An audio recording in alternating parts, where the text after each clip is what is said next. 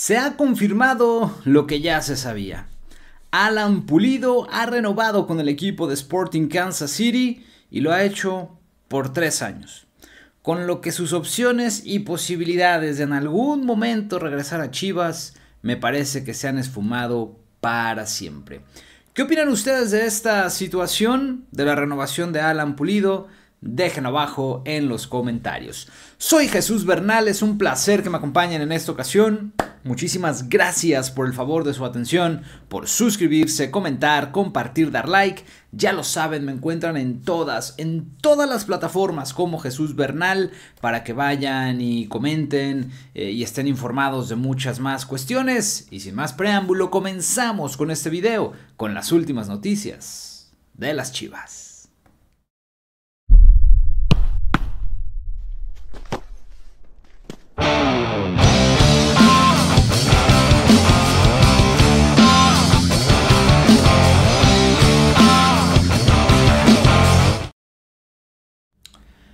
Uno de los últimos íconos de las Chivas, Alan Pulido, ha renovado contrato con el Sporting de Kansas City. Y muchos hablan de que traicionó o de que usó al equipo de las Chivas. Y vamos a platicar un poco de ese tema. A ver, vamos poniendo en contexto. El día de hoy eh, ya se anunció que Alan Pulido se ha convertido en futbolista del Sporting Kansas City por tres años más. Más tarde habrá una conferencia de prensa. Pero por ahora ese es el tema. Y en ese sentido, eh, la gente de, Sporting pues está muy contenta con eh, mantener a Pulido. La verdad es que está haciendo las cosas sumamente bien. Pero como recordarán ustedes, hace unos meses Chivas, perdón, lo estuvo buscando. Se acercaron, hicieron propuesta. Y al final las cosas no se dieron porque Sporting Kansas City no lo quiso vender con lo que existía la esperanza de que una vez terminando su contrato en diciembre pudiera llegar gratis en el mes de enero. Y por esta situación es que muchos piensan que Pulido tal vez utilizó a Chivas para encarecer su próximo contrato con el equipo de Sporting. No sé si habrá ocurrido esto porque en realidad él tenía ganas de volver, pero el asunto es que pues su equipo no le permitió salir y le ofrecieron una muy buena renovación de contrato. Tres años, contrato multimillonario, jugador franquicia, le duplicaron el sueldo, va a ganar cerca de 4 millones de dólares. La verdad es que es un lanonón lo que se va a meter pulido en el equipo de Sporting Kansas City. Y qué bien por él, porque también este es el último contrato bueno, el último contrato interesante que podría tener, porque luego viene la debacle natural de un jugador de fútbol. En ese sentido, eh, pues ya es imposible pensar en que venga Chivas porque Chivas tendría que liquidar al Sporting Kansas City y después ofrecerle el mismo o mejor contrato del que tiene Alan. Y ya pensar en traerlo a los 35 años, mm, tengo mis dudas. Acá habría que entender también que no siempre las segundas partes son buenas y que a veces es mejor dejar por la paz las cosas. Sinceramente, Alan Pulido la está reventando en MLS. Ahí podemos ver sus datos. Es el tercer lugar de la tabla de goleo, con un partido menos con respecto a Mukhtar, que es el, líder eh, de anotaciones. Y por ahora lleva 12 goles Alan Pulido.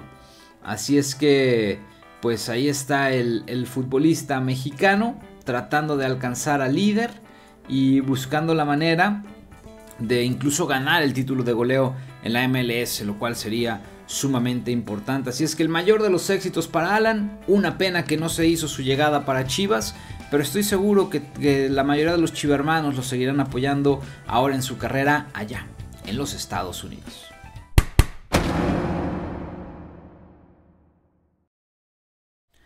Y con esto, ¿cuál es el balance final hacia Fernando Hierro?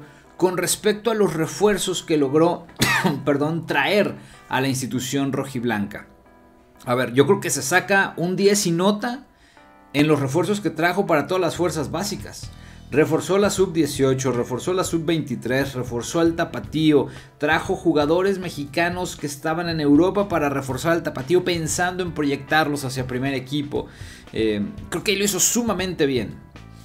En el primer equipo le faltó solamente un refuerzo que fue el caso del 9 y que por intentarlo no podemos culparlo, en realidad estuvo buscando, tocó diferentes puertas, pero al final simple y sencillamente no se dio. Ni la de Luca Martínez Dupuy, que para mí hubiera sido simplemente una, perdón, una apuesta, o la de Alan Pulido, que esa sí era más una realidad. Pero logró traer un arquero, logró traer un 9 que era Marín y logró traer el mediocampista que tanto pedía Belko Paunovic que es Eric Gutiérrez. Entonces me parece que en general, después del cierre de registros que se dio el día de ayer, lo de Fernando Hierro fue interesante, un buen mercado que pudo ser mejor si llegaba esa pieza, ese 9 que tanto pedía el técnico, pero que al final simplemente no se pudo. Entonces yo le pondría un 10 por lo que hizo en las fuerzas básicas y un 8.5 por lo que ocurrió en el primer equipo. Si hubiera traído el 9, pues bueno, 10 de 10 para Fernando Hierro. Pero igual no se preocupen, que ahí viene, ahí viene la bestia, ahí viene JJ Macías, dispuesto a ayudar al equipo tapatío.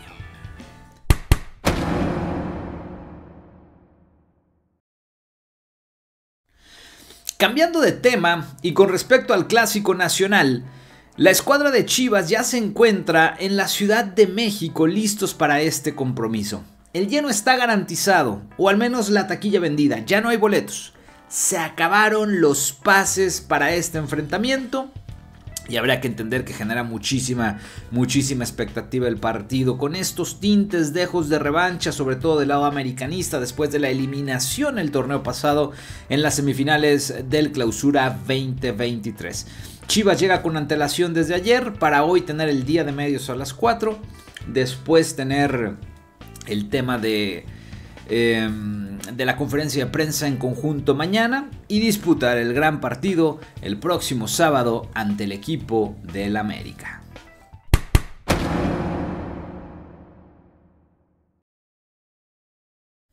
Ya para terminar, recordarles que este partido Chivas contra América, América contra Chivas en este caso, se disputa en la cancha del Estadio Azteca el próximo domingo a las 9 de la noche, tiempo del centro de México, y lo podrán ver en todo el territorio nacional por televisión abierta, probablemente en la frontera con los Estados Unidos y Guatemala también va por tele abierta el partido, nos alcanza a brincar la señal.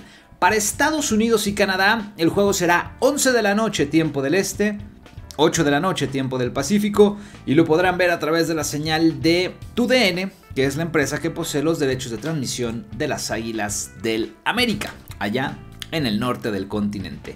Bien, hasta aquí dejamos este video, muchísimas gracias por el favor de su atención, síganse suscribiendo, comentando, compartiendo, dando like y nos vemos en la próxima. Soy Jesús Bernal, adiós.